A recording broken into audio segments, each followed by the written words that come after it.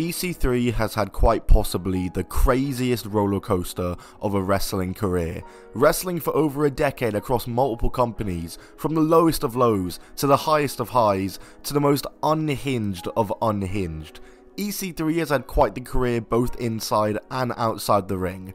What's up guys, it's Tom of Top 10 Wrestling, and today we're going to be discussing the curious case and downward spiral of EC3, and talk about just about everything that has gone wrong in the world of EC3. Before we begin though, I'm making a big announcement very soon and I ask that you go subscribe to this channel on screen and links down below. I'm going to give a quick clue to what it is. There we go, that, that's the clue. That's definitely a dead giveaway. But yeah, subscribe to Wrestle Club and let's get into this video. EC3 began his wrestling career in 2002 and would mainly just wrestle around his home state of Ohio using his real name of Michael Hutter. Throughout the 2000s, EC3 would make a few appearances for WWE, including on Heat tapings and jobber appearances for WWE, as well as appearing for OVW, WWE's developmental territory at the time, a few times between 2002 and 2008 and they must have wanted to keep him around because when OVW changed to FCW in 2009, Michael Hutter was snapped up to be a part of FCW. He took on the name Derek Bateman and he would have a fairly successful time in Florida Championship Wrestling, being a one-time Florida Tag Team Champion with Johnny Curtis. In 2010, it was announced that he would be part of the fourth season of NXT, which was back when NXT was kind of like that that weird game show that if you won it, you'd become a superstar for WWE. You would get a contract. His pro was Daniel Bryan, and the two of them got fairly over together with the NXT crowd. They had that funny moment where they cheated on one of the games and got major heat for it backstage, apparently. Derek Bateman would finish third in NXT, meaning unfortunately he's not going to become a WWE superstar. But he would be given a second chance when he would return for NXT Redemption, the fifth season of NXT, which was a season dedicated to past contestants of NXT getting a second chance. He would make it to the final three of this cast again, but this time round he wouldn't win once again, but only because there was no winner. NXT ended up transitioning into like a weird weekly show, and then it would eventually become what we know as NXT today. However, I guess WWE had no plans to include Derek Bateman in this, as he would make a few more jobber appearances for the WWE and got released in 2013. But this wasn't the end of Derek Bateman's career, as he would sign for TNA Impact Wrestling in 2013 as Ethan Carter III, taking on that new name and playing the nephew of Dixie Carter.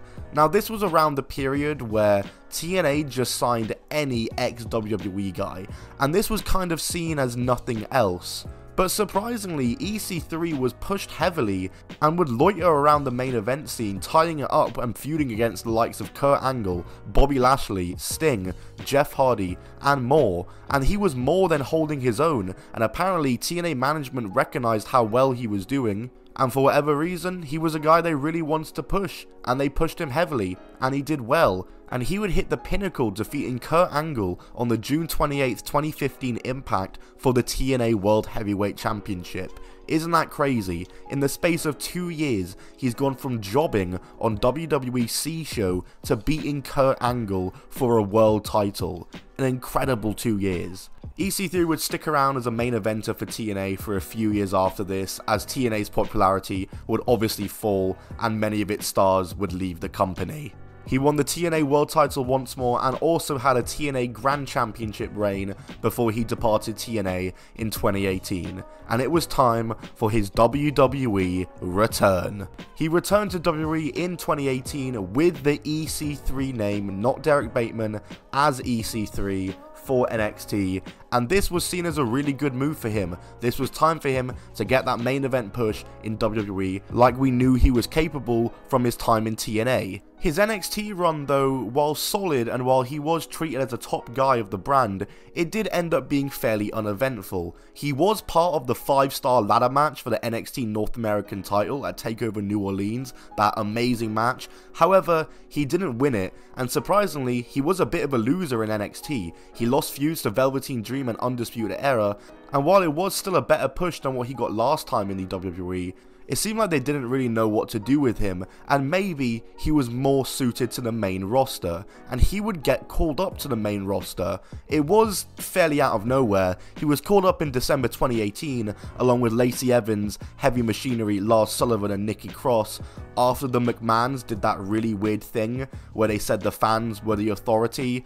Remember that whole thing? Yeah, he got called up from that. He immediately got into a TV feud with Jon Moxley, which ended up being the worst thing for him, and he ended up getting buried as a result of it. This was around the time that Jon Moxley was found out to be departing from the WWE, so WWE were trying to get him to be a heel on his way out, but fans were cheering for him against EC3, and as a result, EC3 got punished for it, and well, that punishment stuck around. His WWE career was never the same. He was absolutely buried because of this. He got relegated to main event as a jobber within months. He was eliminated early at the Andre the Giant Battle Royal at 2019's Mania, and he was the first person eliminated. Yes, the first person eliminated in a 51 man Battle Royal at Super Showdown 2019, a low point in EC3's WWE career. He would remain a jobber for the rest of his time in WWE until his release in 2020 as part of COVID budget cuts, with four 24 7 title reigns to show for his time in WWE. But after this release, there was a lot of hype around EC3 for what he's going to do next. People were speculating about him going to AEW, facing MJF, doing all this kind of stuff. People were speculating about him returning to Impact and being a top guy and winning the world title in Impact again. But we kind of got something different. He did return to Impact in a really awesome moment, but it ended up being a really brief return to Impact, and it was a really weird gimmick that he was playing. He was really cryptic, did cinematic promos and matches where he was talking about freeing the narrative. It was strange, and nobody really understood it and after leaving Impact, he went to Ring of Honor, making his debut there, and he continued this free the narrative thing he was doing. He formed a stable for it, but this whole narrative thing really failed to hit, and his post WWE career just went stale again. He would begin experimenting though and making his own wrestling shows, making two shows titled Free the Narrative, two completely cinematic shows that weren't ticketed and were very very bad. I've watched them both on the channel, feel free to check them out. The first show was main evented by him and Matt Cardona, the second show was main evented by him and Braun Strowman, which was a really big name to get on these free narrative shows, and a big move would be made when him and Strowman would start Control Your Narrative, their own wrestling promotion.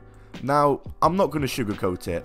Right from the start, Control Your Narrative was seen as an absolute joke. No one really thought it was going to go far, no one really thought it was going to get many viewers, and no one really thought anything of it. But the fact is that EC3 did put some Control Your Narrative shows together. Don't get me wrong, they were awful, but he got some decently sized names for them. He got himself, Strowman, Austin Aries, Westin Blake, the OGK, Killer Kross, and whatever opinions you might have on these guys, they are popular names and they're good names to get for these shows and could probably help keep the promotion alive. But then the dominoes started falling. First, Killer Kross left. Afterwards, a tour was announced for Control Your Narrative. It seems like Killer Kross leaving wasn't going to affect them too much. But then Braun Strowman left and EC3 joined the NWA. They were all pretty much gone from Control Your Narrative, and soon after, the Control Your Narrative tour was cancelled. And as it stands right now, no shows for the future have been announced for Control Your Narrative. So, Control Your Narrative, I'm going to say it now, is probably dead.